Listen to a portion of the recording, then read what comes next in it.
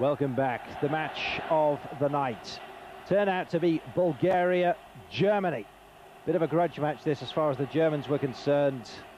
Bulgaria, of course, who did so well in the World Cup, wanting revenge.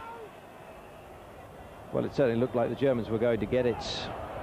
Jurgen Klinsmann, after 18 minutes in space, Bulgarian defence all over the place and a packed house in Sofia. 80,000 turning up for this one.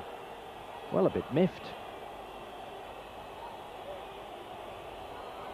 Well, indeed, Germany were well in control of the match at this stage and just before the break.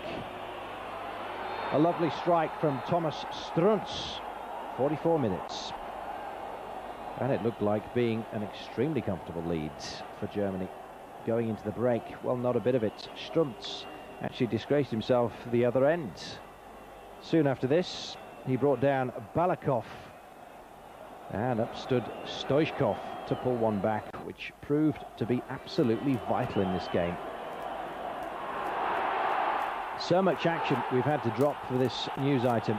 I can tell you it was action-packed to say the very least. Stoichkov had already rattled the uprights, and there was plenty more shots on target to be had. Well, as you saw, Strunz bringing down Balakov.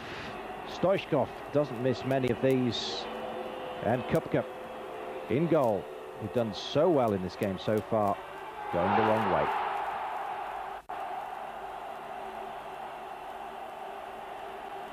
So was it hollow cheers amongst the Sofia faithful?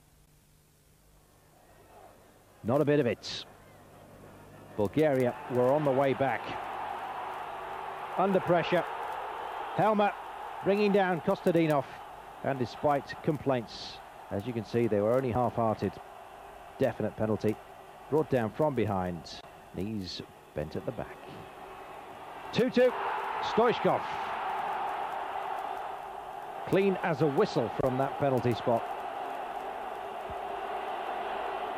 So then, this game level who would get the winner. And it seemed only a matter of time before it came. Indeed, it was only three minutes before Kostadinov with the vital strike.